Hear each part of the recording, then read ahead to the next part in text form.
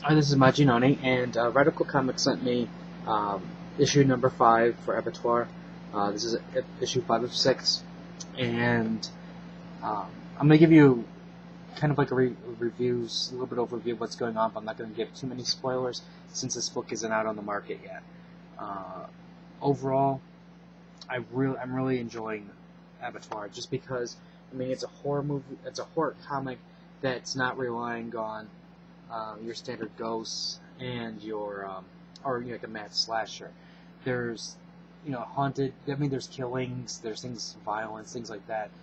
But when you see what Jebediah's overall goal is so far, it's nothing like you would normally expect from like a typical horror movie or horror story. Now, basically, what's going on here is we get at the very beginning, we're going to get a lot of background information on Jebediah and what he was like before, way before the events of this book. Uh, from there, then what we do is uh, we move on to um, Rich or Rick, sorry, and Rick is on his way to basically Jebediah's house. And what's really, really creepy is this Patrick guy. Uh, his facial expressions, the way the light goes around him, it has a very, very eerie quality. Now, um, there's also in this story, I guess you could say there's a lot of things going on in here. It's you know, you there's you get background information, you get somebody to finally stand up for Rick and say yes, you know, Rick has is sane, he's been set up, you also get, I guess you can say, and without revealing too much, is you get closure to a, a plot thread that was way, way, way at the beginning um, concerning uh, Rick and his father.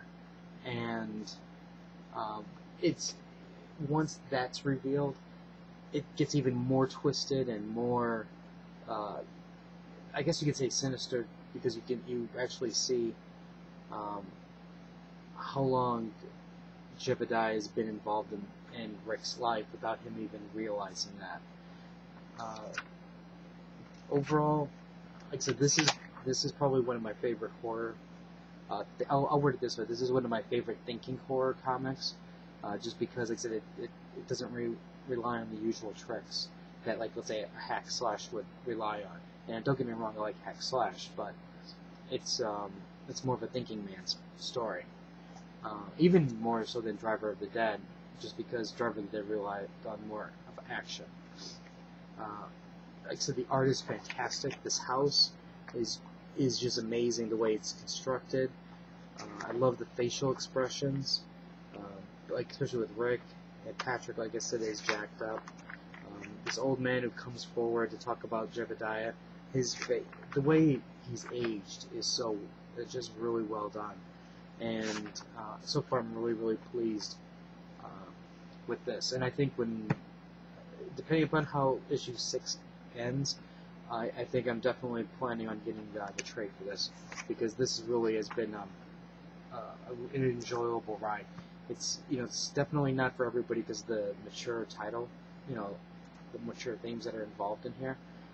But because it, it's just so different than what you would normally expect from a traditional like horror comic.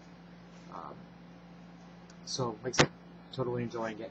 Uh, if you have any comments or questions, let me know. Rate the video up or down. Let me know what you think.